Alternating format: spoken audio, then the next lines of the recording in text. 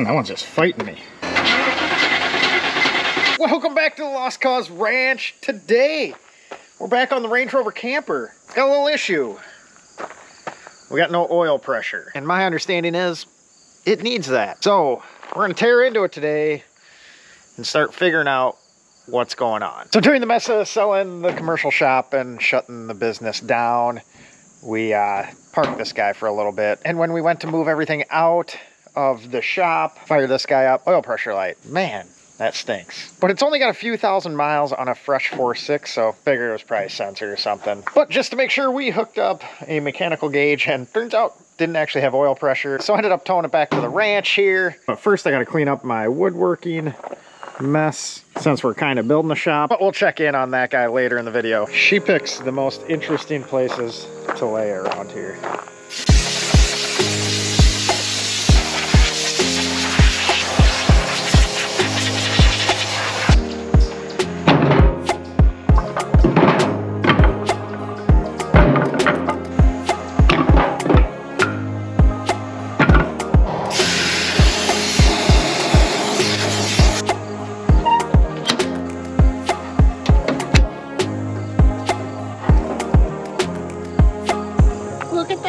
Guy. Just a tiny one. Surprisingly, I've been here for five years, and this is actually the first snake I've seen on the property. Not a big snake expert, but I think that's just a little milk snake. Harmless. When I bought this place, I thought I'd be seeing snakes all the time with all the limestone. I see them out trail running in other parts around here, but never actually at the ranch. That's kind of cool. Sasha likes catching mice. So maybe she'll start catching some snakes. And there it goes.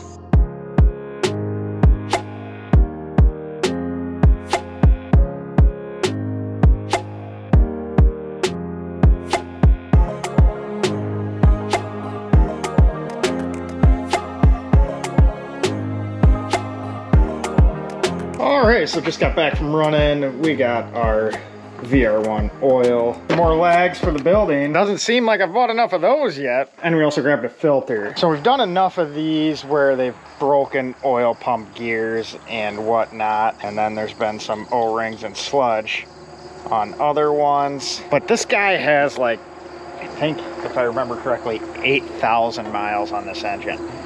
So you wouldn't think it'd be sludged up. You wouldn't think it'd be a gear at that point. Although that is always a possibility with these. But I want to give something a shot first. It might be throwing some oil away, but I'm going to dump the oil, change the filter out. The oil doesn't have a ton of miles on it per se, but it has a fair amount of time. And then this thing was parked for like six months without running. The old 3.5 V8s had problems with priming the oil pump. Newer ones not so much, but I'm gonna go with a leading theory that maybe it lost its prime.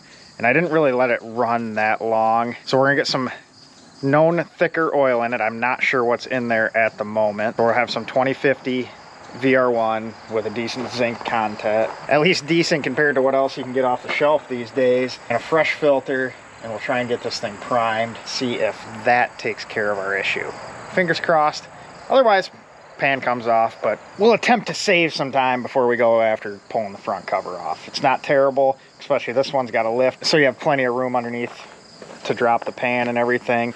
I just, I just don't want to. So we're gonna borrow Sasha's shop pillow. I don't think she's too happy about it, but I don't feel like laying on the gravel and don't have anything else.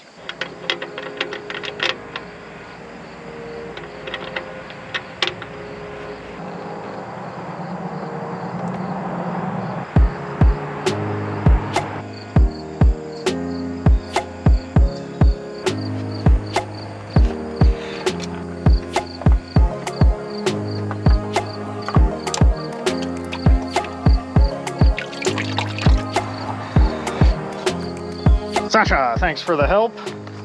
You want me to move you up top so we can pour the oil in together? She is quite the character. She's always got a little FOMO. We can't miss out on anything, can we?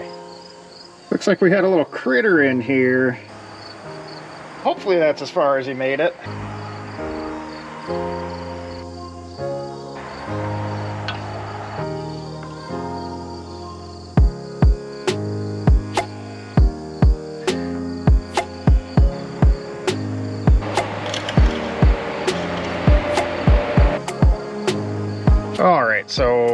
Got fuel pump fuse there, marked in yellow already. I'm gonna pull that guy. I'm, um, yep, gonna pull it.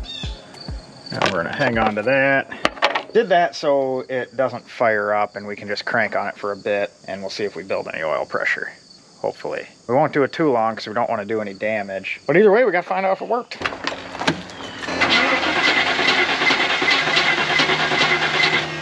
Pop that guy back in. Maybe. Oh, that one's just fighting me. All right, here goes nothing.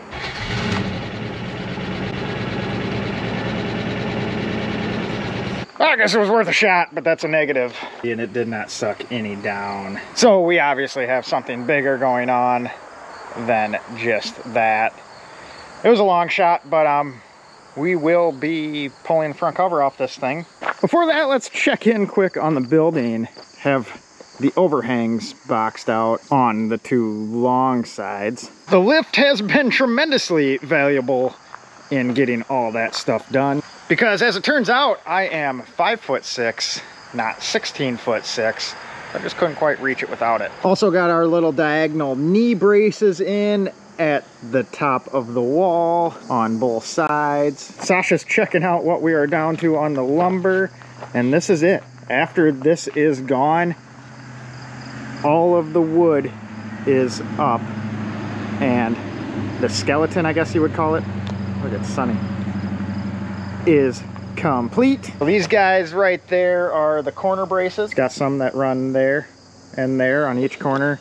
And then we have some wind braces that run along the top purlins. So those will get zipped in along there. I think there might be a lateral brace that goes on the bottom of the trusses too, but I'm not sure. I'll have to look at the blueprints for that. After that's done, it's just steel. Pour some concrete, insulate some stuff, electrical, whatever. But we are, we are getting there. Steel should show up in two or three days, hopefully, as long as they don't delay it once more. Oh, I have that one to put up too. So we are gonna be pulling the front cover off the old helmet to see what's going on. I'm putting my money on a split gear. Just seems to be the most common thing we've ran into personally on the Rover V8s. But let me know down below what you think and I'll pick one of the correct guesses and send out a hat or a shirt or something just to keep it fun. So let me know down below what you guys think is causing the no oil pressure situation on the camper. But the front cover will come off in the next video. We're gonna keep this one short. As always, appreciate you guys watching and we will catch you on the next one. Sush. It's gonna be a good day when we when we can get back to working on these guys undercover. Undercover as in roof, not like the FBI.